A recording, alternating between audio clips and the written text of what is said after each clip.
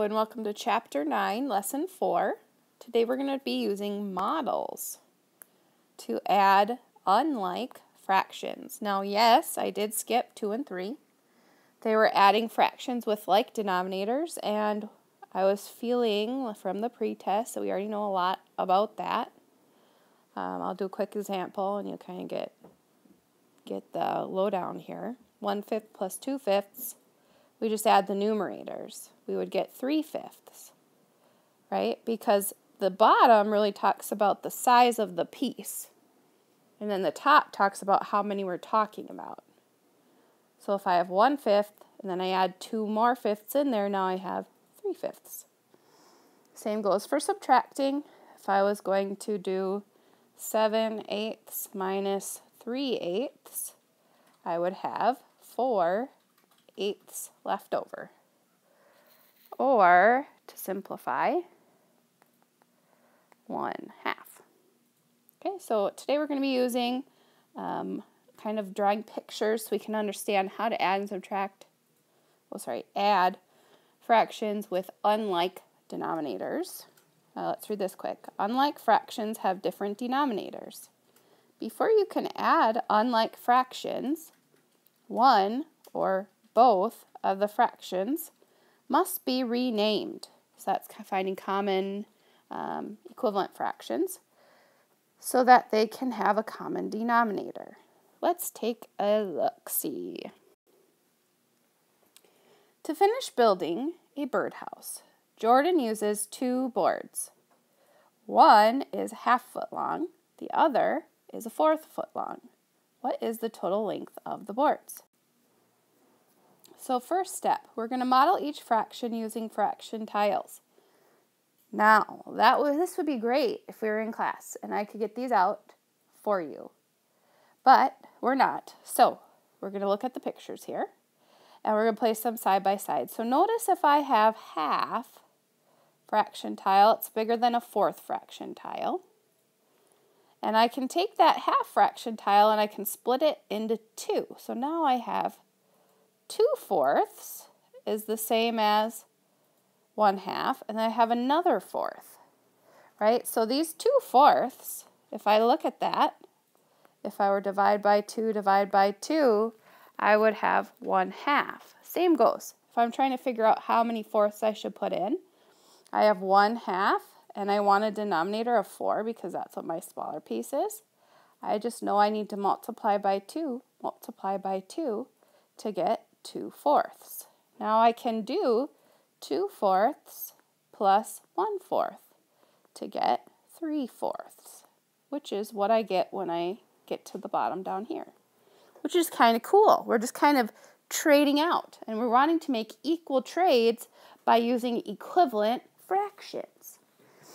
Okay, so if, oh, look at this. Find the fraction tiles that will match the length of the combined tile line them up below the model. So we have a picture right here, I guess. Um, then count. There are three one of the one-fourth fraction tiles in all. One, two, three. This represents the fraction 3 fourths because I have three one-fourth tiles. So 1 half plus one-fourth is actually 3 fourths. That's so neat. The total length of the boards is 3 fourths of a foot. Okay, let's go to the next example here. Muna, not sure if I'm saying that name right, but Muna's family ate two thirds of a strawberry pie. Brendan's family ate three fourths of a different strawberry pie. How much did they eat altogether? So notice the top row here is taking two thirds plus three fourths. Do you see how, how we're doing that?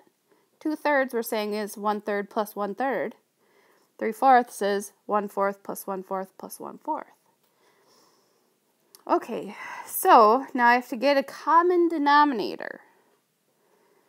And I notice I could break them both into twelfths.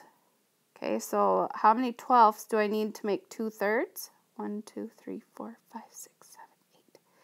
So we're breaking up into eight twelfths. And then for 3 fourths, I have 1, 2, 3, 4, 5, 6, 7, 8, 9. 9 twelfths. Cool. So if I'm going to add up 8 twelfths and 9 twelfths, I'm going to get a total of 17 of the 1 12 fractions, or 17 twelfths. Now it says change this improper fraction into a mixed number, so I can do numerator divided by the denominator. 1's going to go in there, minus 12. I have 5 left over. Then there are 5 out of 12 total pieces left over. So that's my fraction, 1 and 5 twelfths. Notice the remainder is your numerator, always, and what you're dividing by is your denominator, always. So they ate 1 and 5 twelfths strawberry pies all together. Oh, here we go. Oh yeah, we could also do this way, where I take 17 twelfths is the same as saying 12 twelfths plus 5 twelfths. Uh, this is the same as 1 plus 5, oops, 5 twelfths. So I have 1 and 5 twelfths. I'm just kind of reiterating this piece right here. So let's do some more problems. In the first activity, how does the denominator of the sum 3 fourths compare to the denominators of the addends? 1 half and 1 fourth. So we have a 4 here and a 4 here, but a 2 here. Um, I'm just going to say I needed to change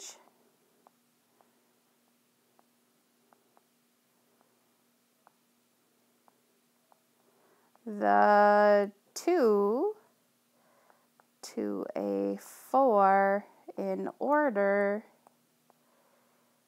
to be able to add the fractions. In the second activity, how does the denominator of the sum 1 and 5 twelfths compare to the denominators of the addends, look at this. 3 times 4 equals 12. So we multiplied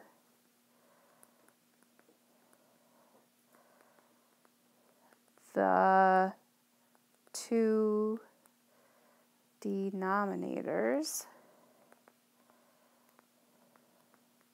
to get the product. Oh, that's a sum, isn't it? I thought we were multiplying, sorry. I was talking multiplying, it should be sum, to get the sum. Boop. Okay, explain to a friend. Well, I guess you guys are going to have to be my friends. I'm going to explain it to you.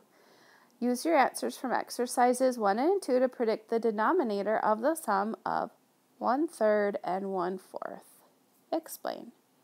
Well, I know that 3 and 4, in order to add them, because I have a 3 and 4 here, in order to add them, I'm going to have to multiply. So the denominator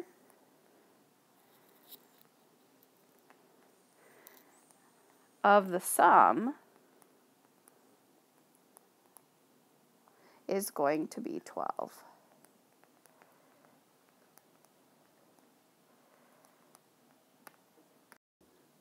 All right, so this is from the homework. So if you flip forward two pages or so, you should see these on the bottom of the homework page. Let's get started.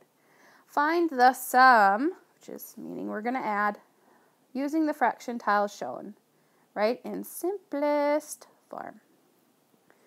Okay, so I see I'm adding 1 half to 1 fourth. We did this one already, but I guess we're going to do it again.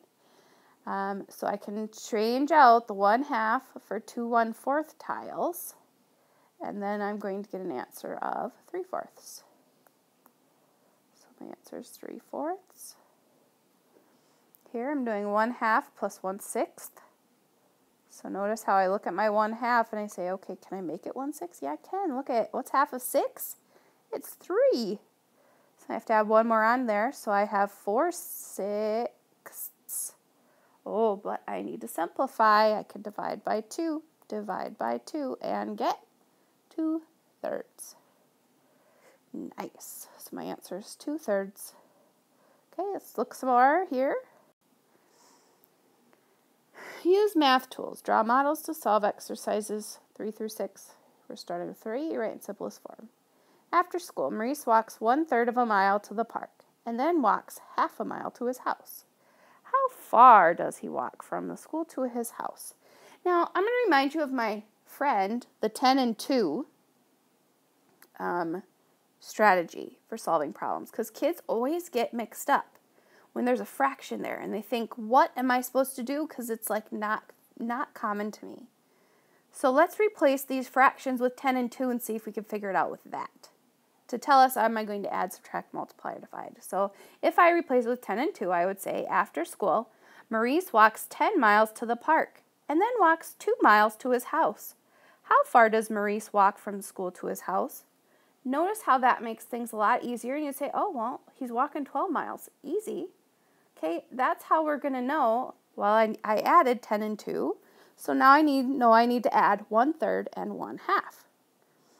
Okay, so if I'm going to add, this is kind of tricky here because I don't have my fraction tiles. 1 half, and we know that 1 third is a little smaller, and 1 third. So here's what I'm thinking. I'm thinking I'm going to need to do sixths.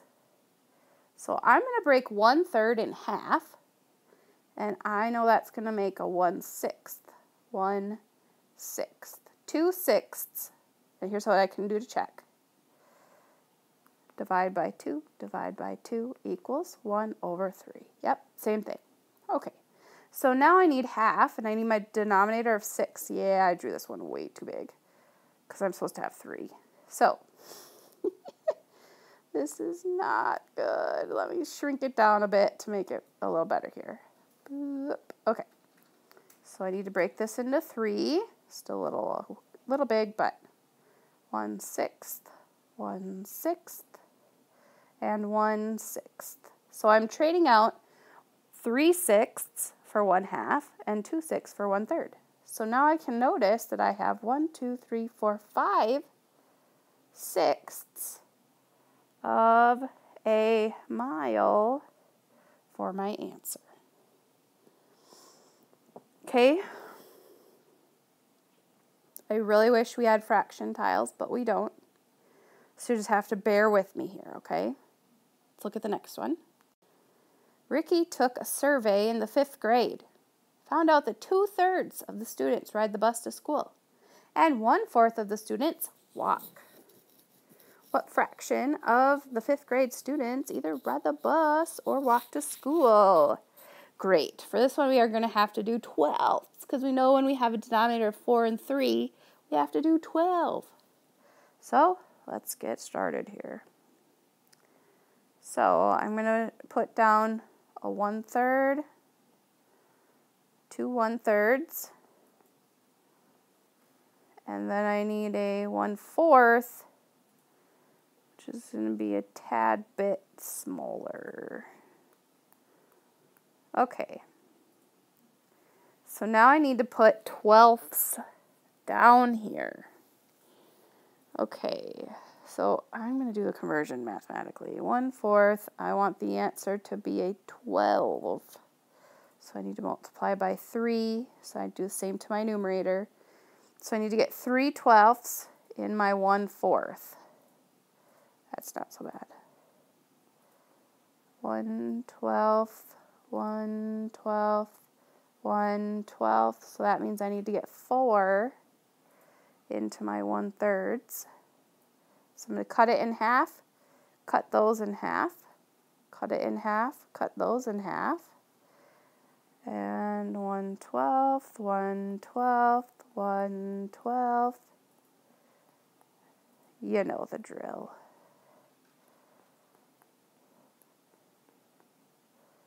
One twelfth. Okay, so let's see how many twelfths I have. 1, 2, 3, 4, 5, 6, 7, 8, 9, 10, 11. I have to walk, oh sorry, 11 twelfths of the students walk or bus to school. So that would be most, right? 11, 12 is almost every single kid. Just a few must get a ride, maybe. All right, that's all I have for you today. Tomorrow we're going to be doing this mathematically. Our next lesson, we're going to be doing this mathematically, which hopefully will be a little easier than having to think about how I'm going to draw out my models. But I think this is a really good representation for you guys to practice. So give it a shot, and I will talk to you later. Bye.